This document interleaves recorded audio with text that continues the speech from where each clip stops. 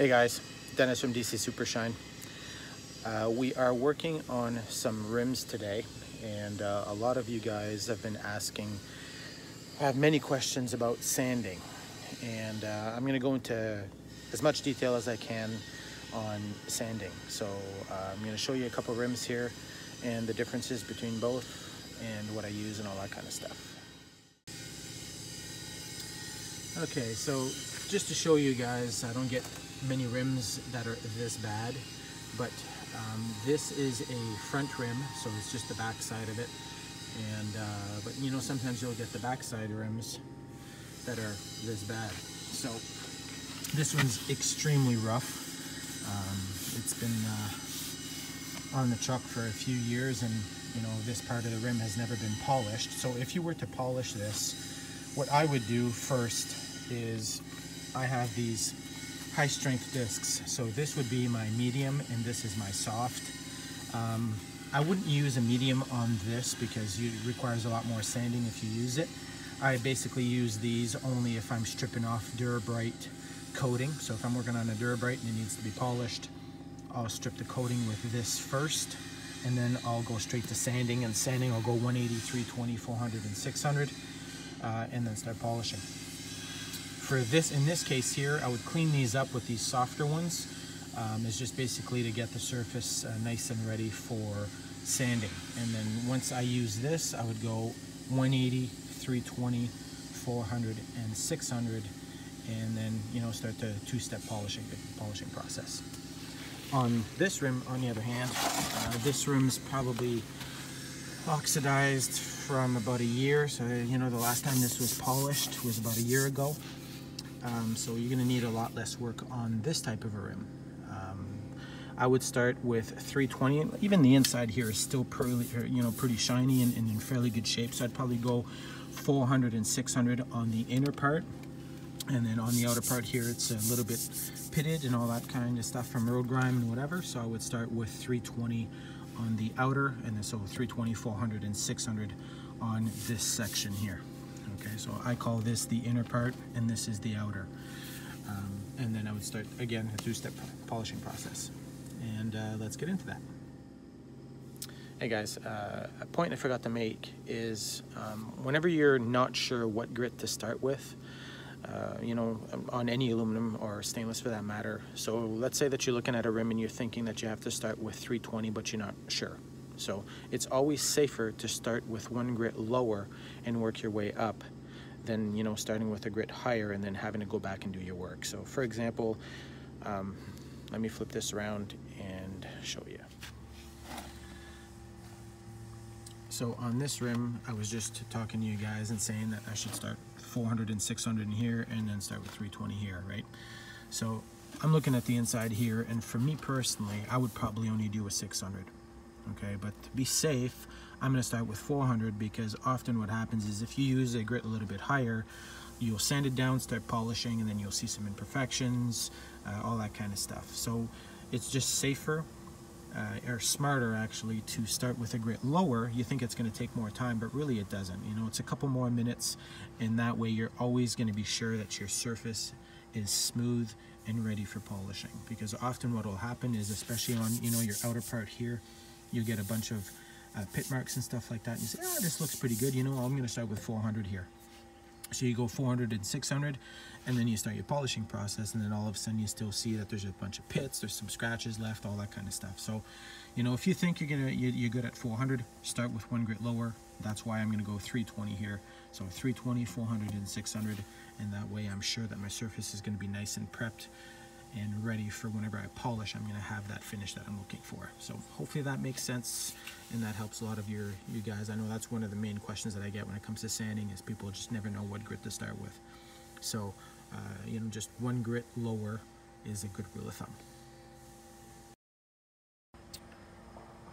By the way, for those of you that have your panties in a bunch, I do wear a mask. If There it is.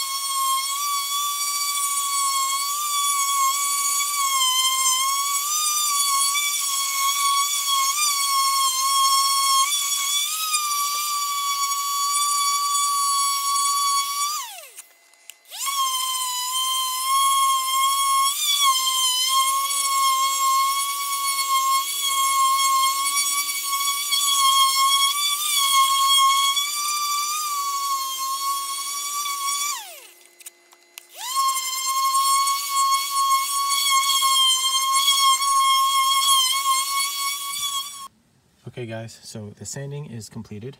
Um, inside I did uh, 400 and 600 and then on the outer part I did 320, 400 and 600.